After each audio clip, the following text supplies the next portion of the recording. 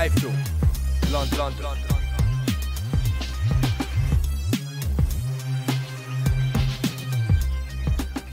iFlow. This is Kugan Cassius Fry from London. We're at the Excel Arena here in London. With me, I've got the new Southern Area welterweight champion Bradley Skeete, who's just stopped Chas Symonds in four rounds. Um, well, this is kind of what you told me yesterday was going to happen, Brad. Yeah, definitely. I told I told you what's going to happen. Uh, there's there was banter and that before before the fight, but like, both boxed at the end of the day, so there's respect there now. But it was it was only banter, nothing nothing in it. So yeah, I, I said what was going to happen. I told him I was going to give him a boxing lesson, and uh, that's exactly what I done. Not being disrespectful, but that's that. I knew what I was doing. I knew I knew it was made for me, and I, I knew what was going down. I, I said everyone, it, it won't last six rounds, and I got him out of there in four rounds.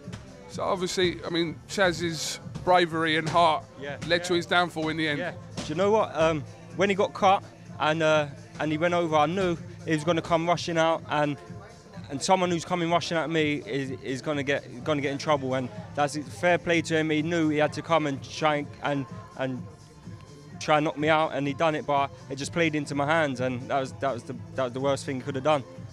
Did you anticipate the fight would, would stretch a bit longer than it did, or would you anticipate it going? You said within six rounds. I told I told everyone the, the fight wasn't going six rounds, and I knew I, I, I watched him, and I, the, the training I was doing in the gym with Sam Webb was unbelievable. He unfortunately he lost last night. He boxed for the British light middleweight title. But in the gym and we, we were sparring together, we was running, we was doing everything together, and we, we was training so hard. And um, unfortunately, he lost. But I, we was fighting at British level, and if I was side by side with someone fighting for a British British title, I, I know I, I was I was there to do a good performance tonight.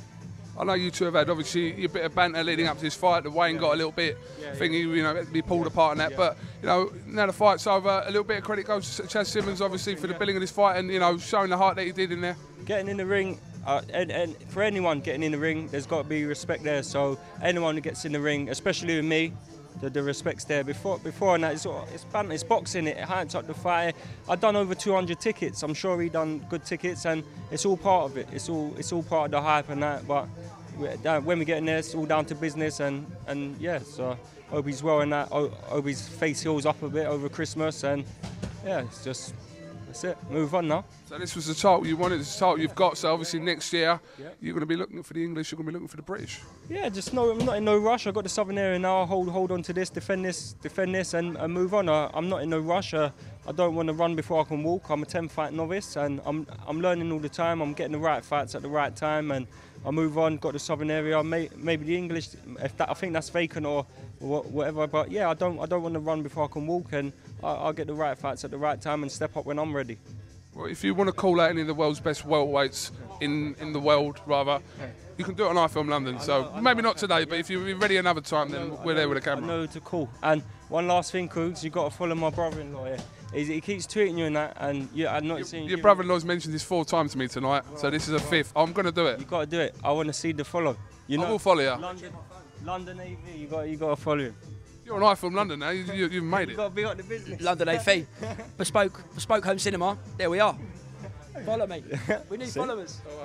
Brad, who's in your team here? My nephew and, and say hello. All right, mate. Hello.